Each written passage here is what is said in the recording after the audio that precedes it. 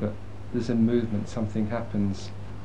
And one question I have is that I remember a few months ago asking you when you first when you first realized that you were self-realized and you told me a story of something that happened in Bombay about 10 12 years ago when you were sick for 7 days and after that you realized that something had happened and recently when I've heard you talk you've um, said that something happened comparatively recently, like the last few months. Mm. And I know there's different stages in realization. I'm just interested to know, if you like, where you are now and how you mm. see the hmm. different stages that have happened to you. Mm.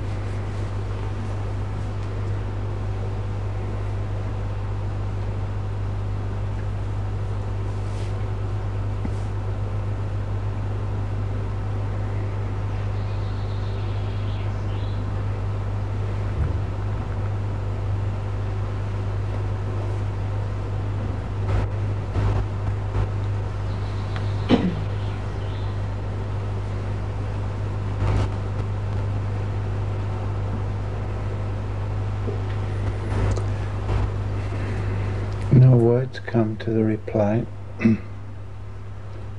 what um, I'm feeling now is another sense of vibration in my body. And this is the first day for a long time where I didn't do anything, I just woke up naturally and Kiala was gone. So I had the whole day to myself and uh, I'm not very here.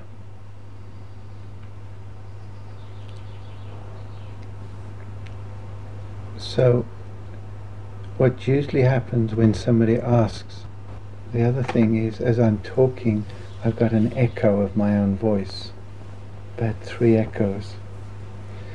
Um, when somebody asks a question, um, a reply is presented. As you were talking, several you talked about the seven days in Bombay, and then a series of replies came to that. And then you talked about something else, and a series of replies. They've all gone. So they came and they went.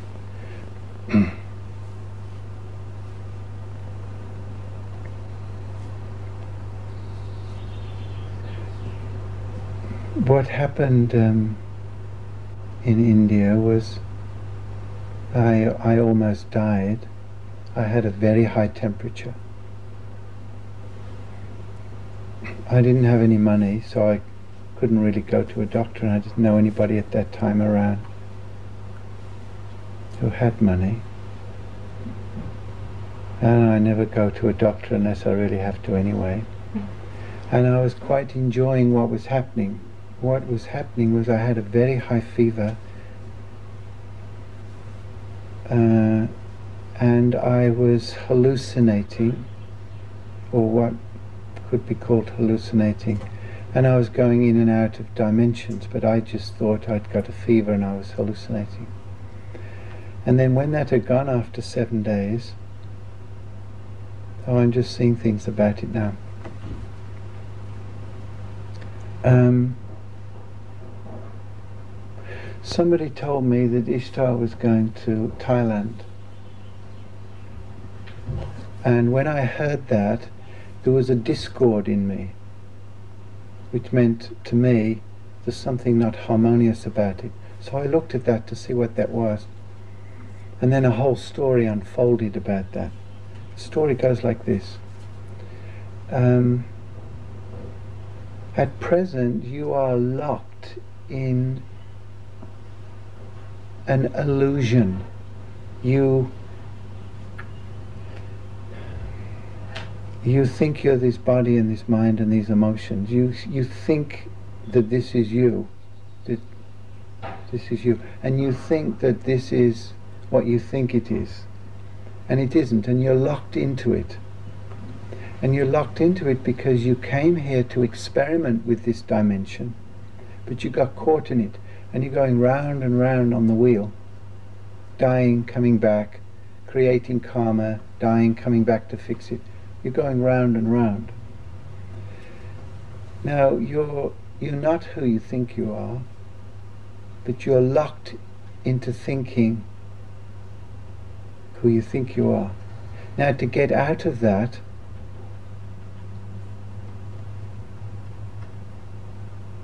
some pop is needed. Something needs to happen. You can't just gently think your way out. You can't think that you know what I'm saying and then think your realization and then be out. It doesn't work like that. You have to pop through, pop out of the dimension you're in.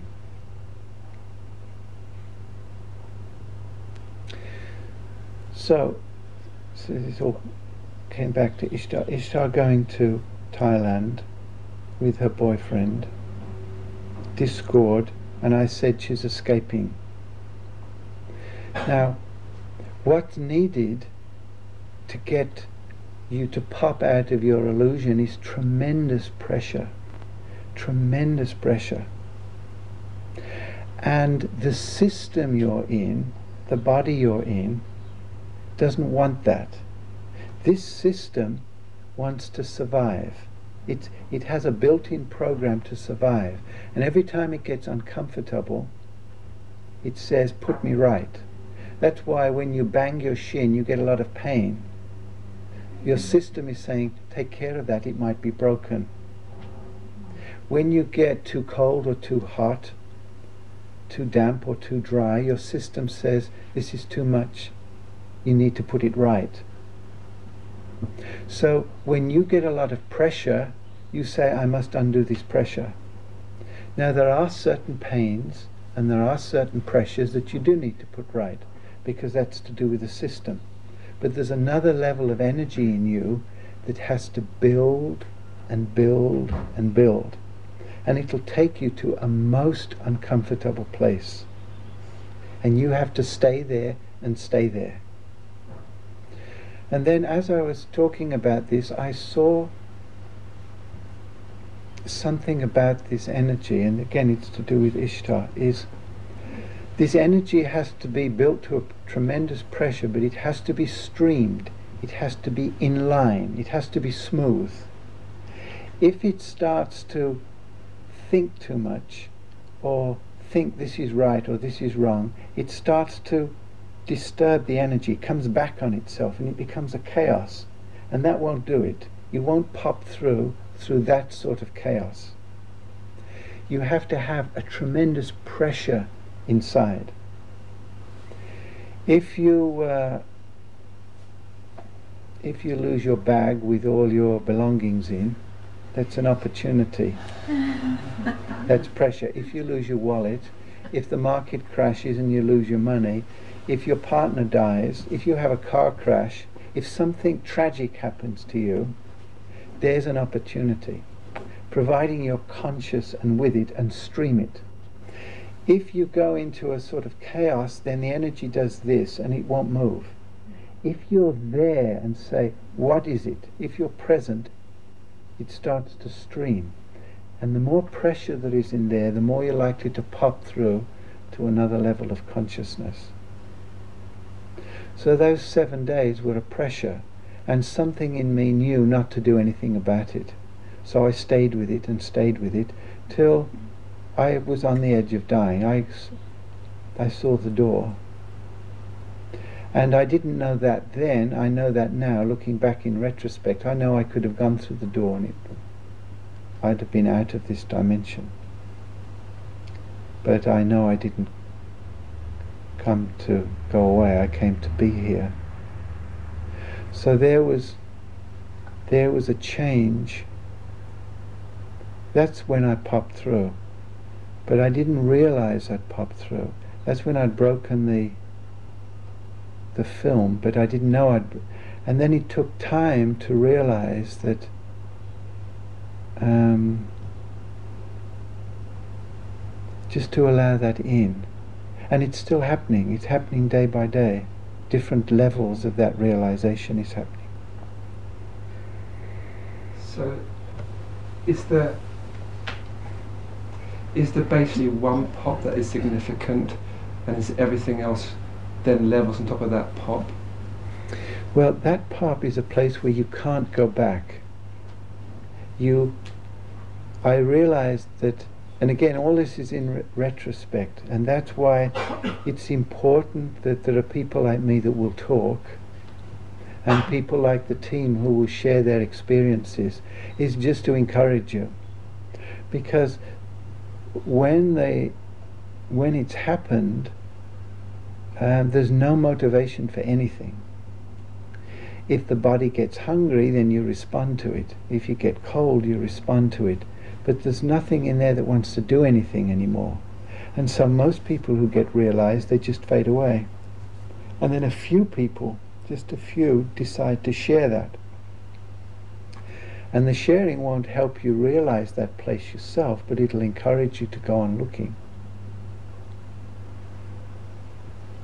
What was your question again?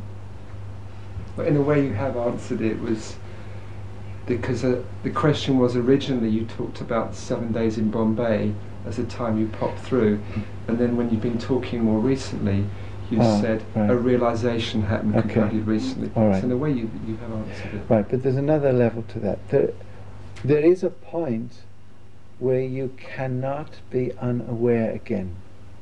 Whatever you do, you will be aware. You can't move a finger and not know about it. You you hear every every leaf.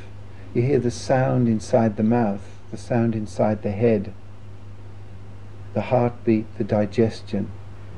And I, I'm not talking about anything esoteric. I'm not talking about anything magic. It's just that you can all hear these things too.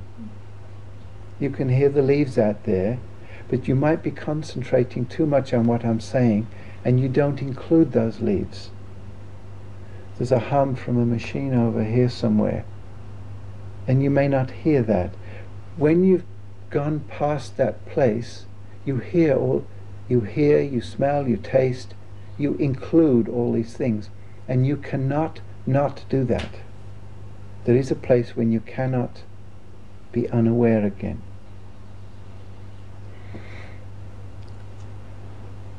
I'm, I'm really interested in this thing about the pressure because I know for me there's no going back. It's, I know there's no going back, and yet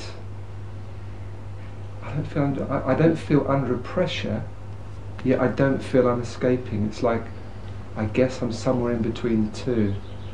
And I know you, again you've talked before about often there's such tremendous pressure when someone pops through. It's too much for the body, and you've explained that's because the body wasn't prepared. Mm. So I, I guess there's, deg- there's degrees of drama popping, if you like, to simplify it. Well, uh,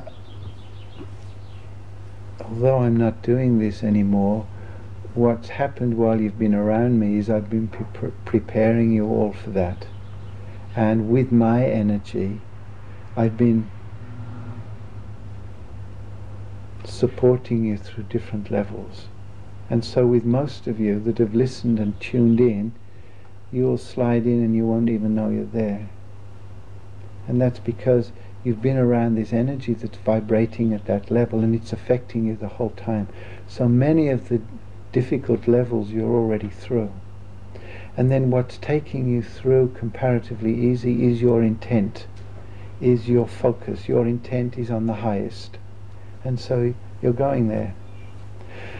The only thing you could look at now is when you come to these places in yourself, when you get angry, and then you judge yourself for being angry, you're missing a pressure point.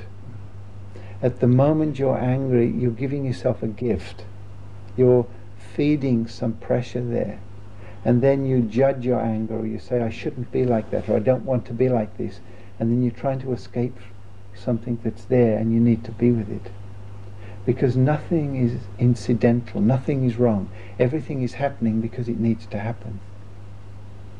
And so when you go into these places, instead of thinking I'm wrong or I've missed or I'm not there yet, say I'm here now. And this is my reality. And by including that, it'll help your alchemy. And um,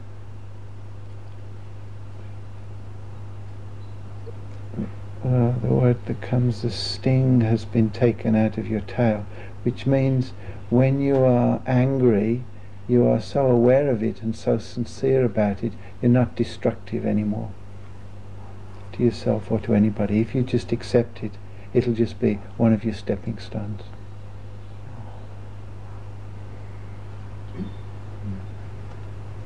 Another question I wanted to ask you, which is a little esoteric, but I still want to, to ask it. You talk a lot about, not a lot, but sometimes you talk about people becoming invisible and walking through walls and how this in a way is a, a normal state of being and how what we, in what we call the future this kind of thing is going to happen more and more.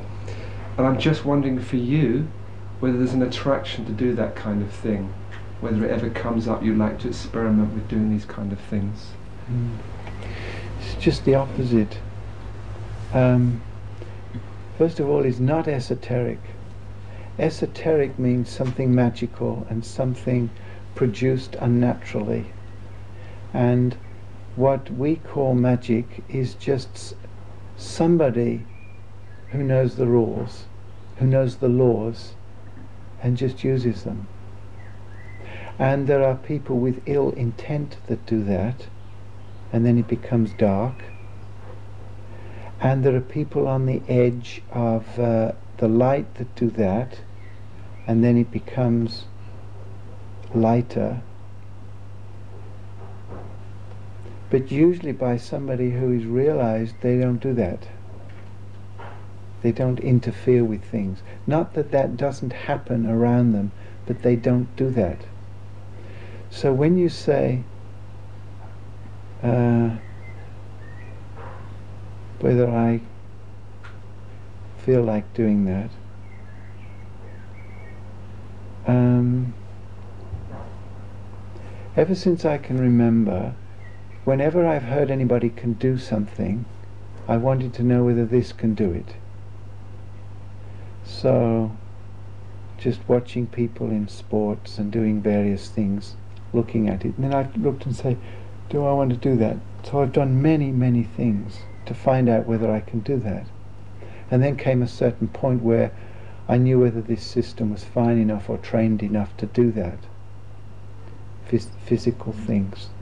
So then I either did them or I didn't do them according to that. And then came a point where I started to do the same thing on the inside. What can be done and what can't be done. Can minds be read? Can you see into the future or into another part and all these things? And then my alignment has always been to do with helping people. So the the games of that dropped away. And then what it became was when somebody was sitting in front of me what is the maximum that this system can do for this being. And so I got to the place where I could see past lives and I could see what their childhood was like and know what they were feeling physically, emotionally, mentally, where I could become inside the person. And again, you see, this isn't esoteric, it isn't special. All of you can do that. Um, It would be like if somebody sat here and played classical guitar very beautifully and you'd say, I want to do that. Let's say they're a concert guitarist. You could do that. But you'd have to do a lot of practice. And if you hadn't got an aptitude towards it, if you weren't born with a, uh, a natural talent, you'd have to work very, very hard. If you were born with a natural talent, you'd still have to practice eight hours a day but you could do it. So what I'm talking about isn't out of any of your scope. If you want to know what people are reading, uh, thinking, read their minds, you can do that. It just, you have to devote yourself to it. Now, I didn't decide I wanted to know what people were thinking. I decided I wanted to be as efficient as possible helping the person I was working with. So all these things developed.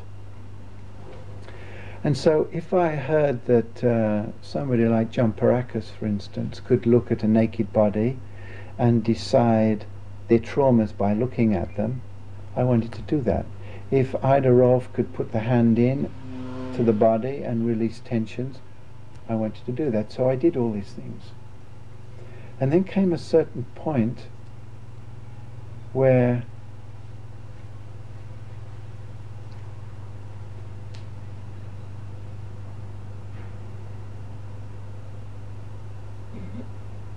where this awakening happened, but I can't remember exactly when. This awakening happened, and then I'm completely blank about it. I don't see anything about it. I stopped using these facilities. In some way, it was an imposition, but I wasn't very worried about that because we're all responsible for ourselves. But somewhere I saw that helping people doesn't help people. It it helps to make you lazy. Um, all problems are bullshit. A problem is a problem because you have taken a fact and you want it to be a problem. You, your life right now is exactly the way you want it to be, right now. If you have money, that's what you want. If you don't have money, that's what you want. If you're hassled in a relationship, that's what you want. If you don't have a relationship, that's what you want. On, on levels and levels and levels I'm talking about, you are right now exactly the way you want to be. And if you want to be any different, you can be different. Now, if you want to be able to walk through this wall, you can do it. You've got to work at it, you've got to practice at it. And this is what happens, is the moment you, you reach that very fine vibration that allows you to release the holding of your molecules so that you can pass through something else that's said to be solid. The moment you've attained such a level, that's a very high level of purity. And at the moment you do that, then it's ridiculous to walk through walls when there are doorways. What happens is when you take your vibration to that level, you wake up, and then when you wake up, you don't bother with those things. The only reason you'd possibly bother with those things is if it would help other people to wake up. Because at the moment of awakening, there's great joy and there's great sadness. The great joy is you're free. And this is how I view this is it's freedom. You are now free. You know you are not born and you know you will never die. You are, you always have been, and you always will be. So you're free. Nothing can go wrong and nothing can go right. Everything is exactly the way it is. You know that. But at the same time, the sadness comes is you look around and you see all these people. They are also in that state, but they don't know it. And then the sadness comes is, again, it's very, I mean, saying it isn't saying it. This is the closest I can get to. You are not other people to me. You are me. You are me and I am you. And all separation is illusion. Is all separation is an attitude. We're all one. So I'm free. But this part of me isn't free. I'm totally free, and at the same time, this part of me isn't free. And so what many people do, what most people do when they're realized, they just decide to wait because everybody's going to be free.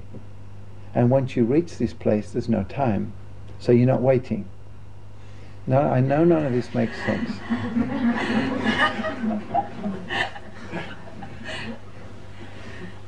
and then certain people like me and many of the team and many of you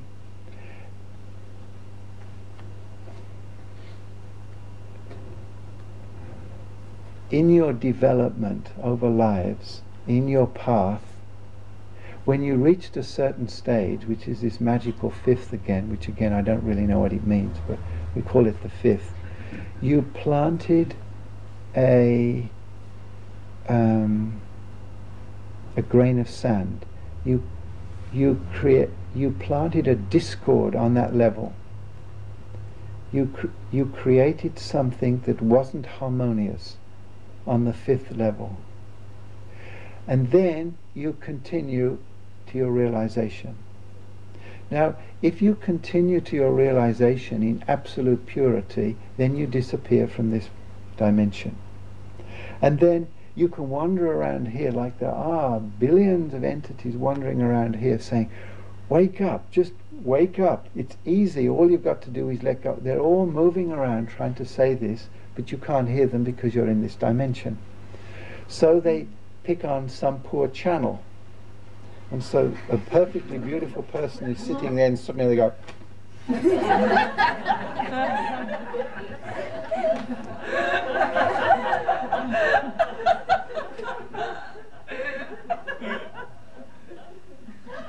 and this entity that was floating around is trying to manipulate this body from another dimension and it all looks very ugly and it's not very effective.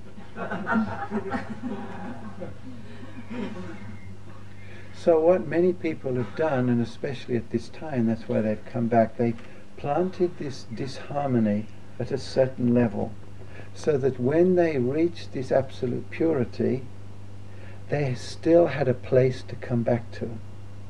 They could come, they could anchor themselves back into this place. And so I think in in the East traditionally it's called anchoring the fifth or something like that so they can get back and still function on this level. Um, what we're going to do this time, many of us, many of you if you want it, is we're going to take this a stage further than it's ever been before, where you will be able to disappear and produce things and some people might do that, some people might not. But you're going to be able to bring through all the levels of consciousness into this level. Um, many people have become realized don't really realize they're realized. They know something's happened, they know something's free, but they don't really know what it is. Um, becoming realized doesn't give you all these uh, siddhis, these powers, these uh, these ways of disappearing or walking through walls or manifesting things. Those are things that uh, Tantra especially worked on those things. It was more important than their realization was the powers, the siddhis. So many of them produce these things, and that's when they get used darkly. I'll explain that because I've been reading some books lately about people that got lost. Um,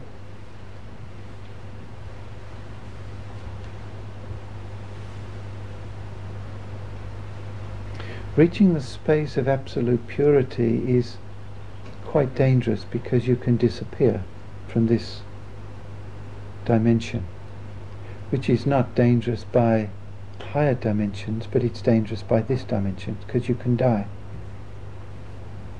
Most people don't do that. They go to a certain level and pull back.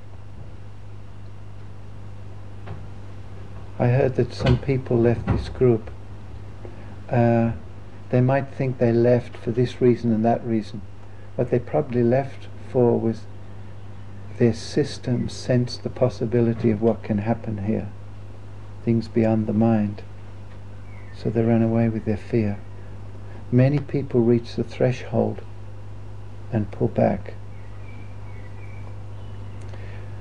Some people develop these powers before their freedom. Some people have their freedom and then start to develop these powers. If you develop the powers after freedom, you only use them for the light. if you develop them before, the temptation is to use them for self gain, which brings a lot of karma, but also sometimes to help people. So a person can become in a very high state of vibration, but they're not in their freedom. And of course, you can't tell that because they look as though they're free. And they have powers. And then what happens is somebody comes in front of them and says, I'm stuck in this, I'm stuck in. And there's a great temptation to say, I'll just help this person. So what they do is they do something. They it, nobody sees what happens, but they do something with their energy which can help this person. Now, as soon as they've done that, they've created an imbalance. And when you've done it once, and of course it works when you've developed these powers, especially when you're very close to the crystallization, then you get a temptation to go on doing it. And as you do it, you make an imbalance. And then that imbalance has to be paid for, not only by the person who creates it, but by the person that was helped. They have to pay too. There's an imbalance. And then these little insidious uses of energy start to build up, and before long the person's in the dark. They, th- they look as though they're working for the light, but they're not anymore. anymore. So what usually happens is when a person reaches a place of absolute freedom, they don't use their powers. Not everybody ha- not everybody who reaches their freedom is aware of their access to these powers.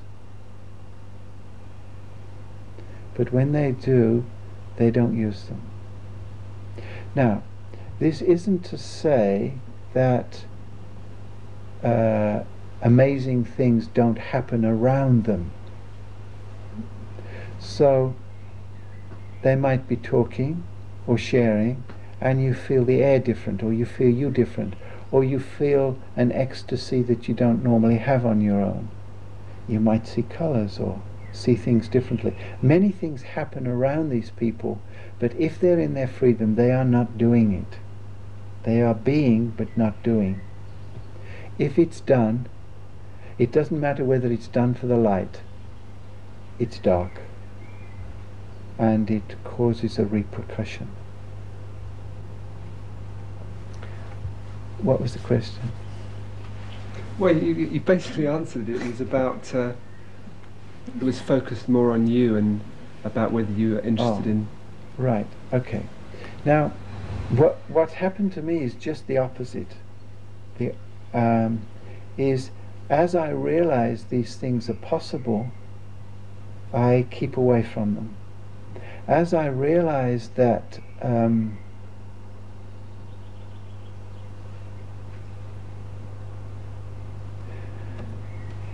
that I can know all things. That's what comes, and I was blocking saying it. I can know all things. I can know the future. I can know everything. I block that. And my theory about that is if I was to allow that, then I wouldn't stay here. And as I keep reminding myself, and many psychics and channelers keep reminding me, I have a major role to play on the planet.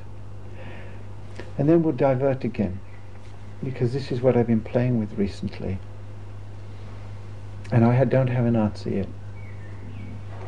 As I've reached this place of purity on these certain levels, my motivation is gone. And then I I know, and I know through my meditation and the messages I get, that I'm to be one of the the pivots for the change of consciousness. But there's no motivation in me to do anything. And if I were to do anything, then I would lose my purity. And so what I would doing might be very helpful, but it wouldn't be clear. And so what I'm playing with is uh, just staying here, doing nothing, and only responding to situations. So at the moment, rocks is a, a key in that because. So I, I just got some stuff. So that's the agreement that he and I made in another level. That he was not going there yet, because if he goes there, he'll become as mot- motivationless as I am. And then. so, somewhere, he's made, it we made this agreement that he was going to stay back and stay in the light, stay blessed. He's blessed. Uh, I'll see if I can come back to that later on about being blessed. So, and he has to stay that side of it because you'll lose your motivation. And you're the drive at the moment. You're what's moving it. You're what's moving the energy. And this will respond to that. The thing about blessed, what I got with you, and I, I can think of many people I know who haven't realized this, is many people are born on this planet um, blessed with a certain energy. They're, they're blessed with a very high rate of energy. And then they use this in their business, in their relationships, in power, in different ways, and things go very well for them to a certain point and then they get ill. And this is happening with a lot of people in America. This strange illness that's coming along where people just collapse. And um, what this is probably about is that the energy that these blessed people were given by themselves in another dimension was not to be used solely for their own welfare. It was given to help the planet at this time. But they forgot that, they didn't wake up to that, so they have been misusing it. Even although they may not be doing anything unpleasant with the energy, they're misusing it for themselves. And it wasn't given for them, it was given to share. And so, in a way, the success of your business was a little bit like magic. It just, you worked hard, but it just came. It just mm. came. And that was because you're blessed with this energy, and anything you do will work. And um, but then you you knew that it was for something else. That's why you wanted to start a commune way way back. You knew somewhere it was for something else. And then, as you told me, since you've been doing this work, you've hardly spent any time in your business, and it's doubled its value. And it's because you've now got your energy online and where it belongs now, what it's supposed to be doing.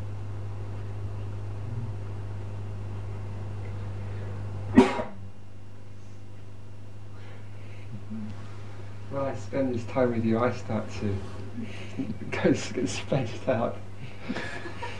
Which I, actually, that's a question that is an interesting question for me. It seems to me there's two very different categories of being spaced out. There's like, I know sometimes when I'm spaced out, I'm basically in my thoughts and I'm not here. Mm. Now, you, when you get spaced out, it seems to me something, t- obviously something totally different is happening. And I'm wondering if you can maybe talk a little bit about what happens when you get spaced out.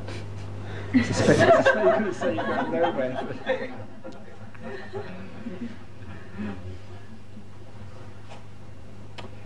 Well, there are different levels. As you say, you often get spaced out. You were spaced out the other day when you were driving. I forget where we were driving from to. London Bristol to London. Yes. You you went out many times. Were you aware of that? You went into the same car. I know. um, yes, there's a few times because there was a few times where I didn't check in the mirror to see if you were still in the car behind. Yeah, but there was more than that. I You, you were that. thinking quite hard about something a lot of the time. I got really shocked by that accident when we Ah. saw the really bad accident with the car overturned, Yeah. and I, I, I was talking to Linda. That really shocked me. That um, Okay. I It's just true. I wasn't that aware of being spaced out. That's true. Right. You were you were thinking quite hard. You see, when you drove behind us from from somewhere to somewhere else, where was that? Munich to France. You were not spaced out. You were there, Yeah. and you were there. That last stage, you were there the whole time. You didn't go. I don't think you went once. This time, on this last journey, you kept going, in and out, and it was spaced out. Now, this was functioning. If there had been an accident in front, you'd have seen it, but it would have taken you a few milliseconds to get it. You'd have to get back in. Right. So that was because you were preoccupied. Now there's another level of spacing out where you're not focused on anything. Mm. And yet, if somebody walks into the room, you know they walked in. You'll probably know who it is too. But you're not focused on them. They are no more than the sound of the machine or the singing of the bird or the wind in the trees. Uh, but you're fully there. Not focused on anything, not thinking. Although thoughts may go by, you're not thinking them. And then there is another level which is really uh, when you are t- living so totally in another dimension that you've withdrawn all your presence from this one. You see, at the moment, you are all living in many dimensions. Now, there's, there's one of you in another dimension, another dimension, another, and you're all fully conscious of where you are, as well as being here. But this, at the moment, is your main anchor. This is, it's the lowest vibration, it's the main anchor, it's where you need most of your energy, because you've come here to do something. And so most of you is here. But you're in these other dimensions as well. And if you sit and uh, you allow, you'll start to become aware of these. You're aware of them in your dreams.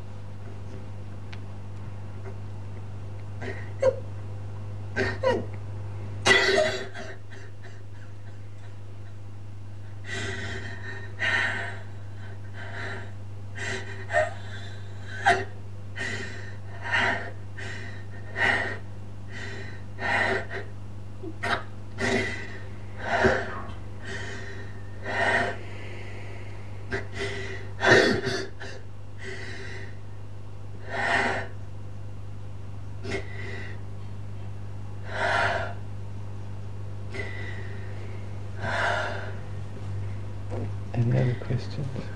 I don't have anything else to say, but I know Linda wanted to ask something. Would you like to come and sit here and ask something? No, I think you've covered it. I have. Okay. Let's hear what's going on with you, if you've got any questions or any comments. See, what I realize I'm doing is I'm tuning into the speaker, and uh, then you have to get it or not get it. I'm not tuning into you. And so uh, you can't understand what I'm saying because what I'm saying doesn't belong to the mind, it belongs to somewhere else. So see if you've got anything to ask or to share. in my own work, I'm aware of going someplace and being with an energy. And when I activate it on this level, some of it trickles through and some of it remains. Hmm. What is your experience of that? Well, the game is that we're playing on this dimension at the moment. The game is how much can we bring through? Because previously it's all been locked up there, or very, very little's come through into very few people. And now the game is like it comes through in a Van Gogh, and it comes through in in a Beethoven and a Handel and Mozart. It comes through, and uh, most of them were probably in semi-trance when they were doing that. Now, the game this time is let's be fully conscious here and in touch with that. That's the game. And it's very stressful for the system. That's why you're so delicate and why you're so sensitive. And that you can go on overload so easily. But that's the game we're going to play. Is how much of that voltage can we bring down this this little wire? And it's possible to bring a lot through when you are in meditation or trance or out. You can bring a lot through, but then you're not aware of bringing it through. And it, it affects it affects this dimension. That's why these people who are in very high levels of vibration, they don't have to talk, they don't have to do anything. They they are like a, a tube that brings that nourishment into this plane. But the game is to, to be in touch with that and have that system translated into a more digestible form for this dimension. And you're doing it through music, so that's that's going to be your way. And it doesn't matter about the music. It matters about these vibrations. And your way is turning the vibrations into music. Other people's may be into cleaning houses. And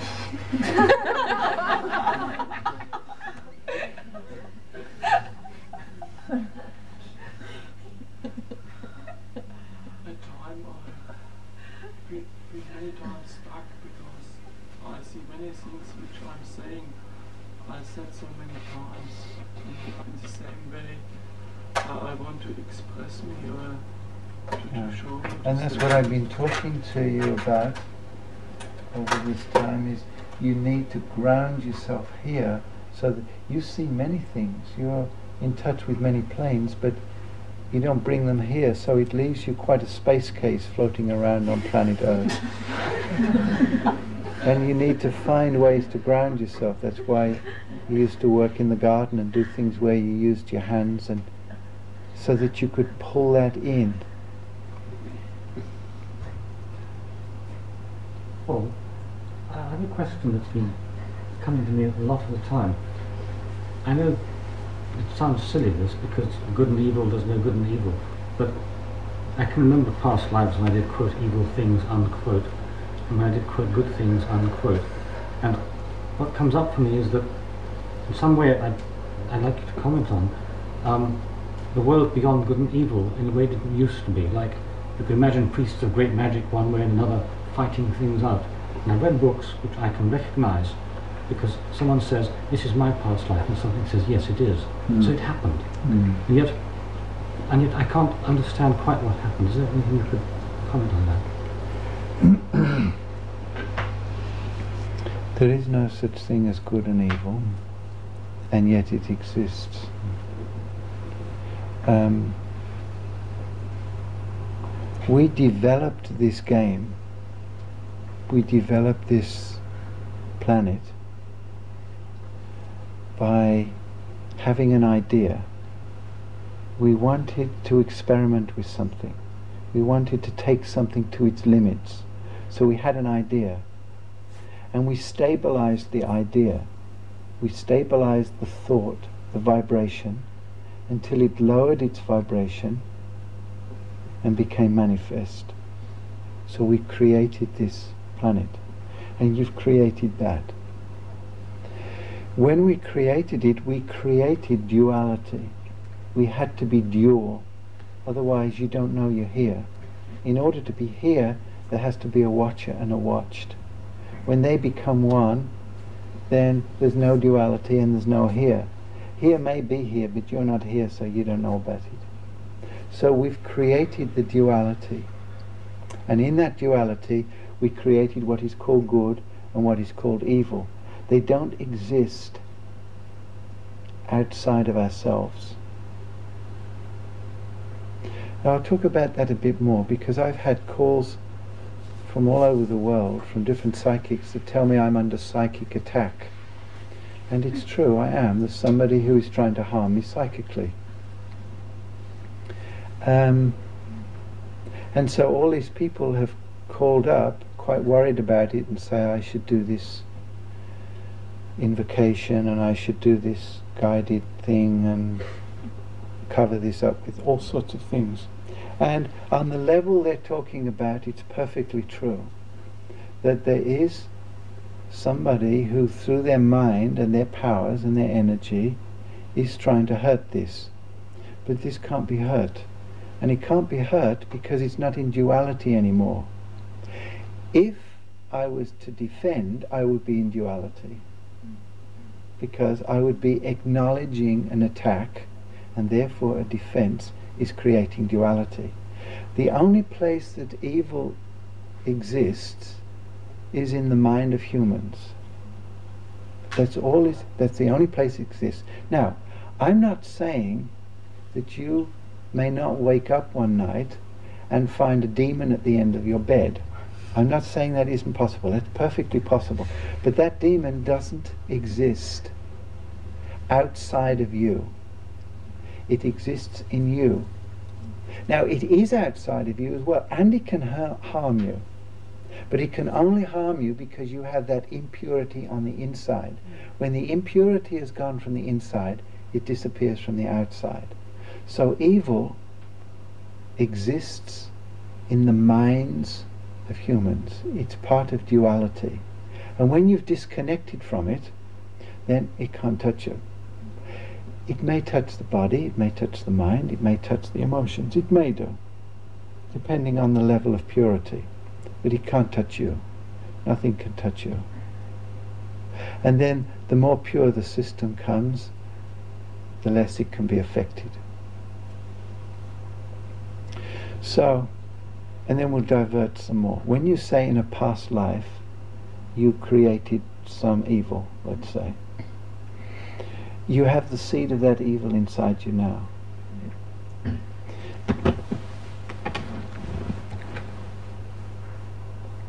Evil is nothing more than imbalance. That's all it is. An imbalance can only be created unconsciously.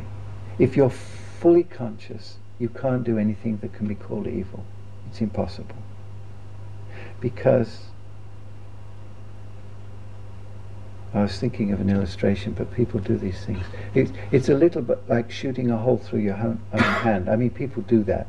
I know they do. But it's like if I was to hurt you, I'm actually hurting myself. And it's actually be, it's beyond that too. It's just impossible with awareness. So at some time you are unaware. Now you were supposed to be unaware. You were supposed to do that. That was part of the experiment.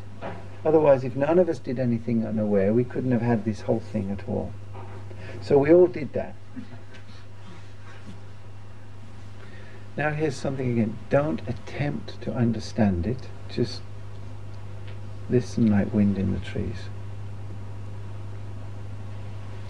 When you have done something about which you are uncomfortable, the ego goes in reverse. The ego says, the I, the pride, the arrogance says, I did something wrong. I don't want to admit I did something wrong. So in order not to have it wrong, I want to put it right. So I did this, Im- this imbalance. I want to balance it so that it never happened. You get that? Right. So you don't have to accept that you did something stupid. You got that? Right. So you hold the imbalance. Now, in this particular life, you may have chopped off heads. This particular life, you may do nothing more than a little sharp remark or hold somebody's uh, progress up who's under you in a company. But it's same thing, the seed is there. If you